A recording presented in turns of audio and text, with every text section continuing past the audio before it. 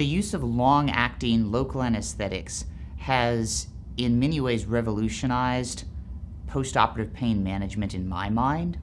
Local anesthetics are the only class of drug that can entirely block pain transmission when they're applied in the proper way around the surgical site.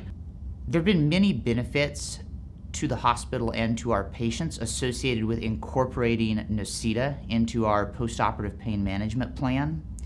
The biggest benefit in my mind is that I feel very confident that we are controlling pain very effectively in the immediate postoperative period. So my patients are more comfortable based on pain assessments in the postoperative period than they were with the, the pain control regimen that we were using prior to the introduction of Nocita.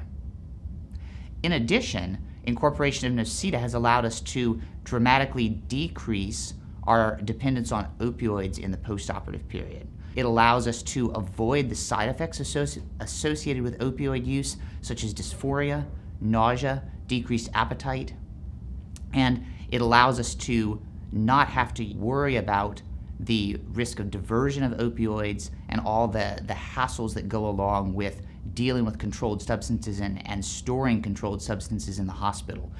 Another major advantage to incorporating Nocita for pain control in the postoperative period is that because I'm confident that animals' pain is going to be very well controlled, starting immediately after surgery for up to 72 hours, I feel comfortable sending patients home much sooner in the postoperative period than I did prior to the introduction of Nocita.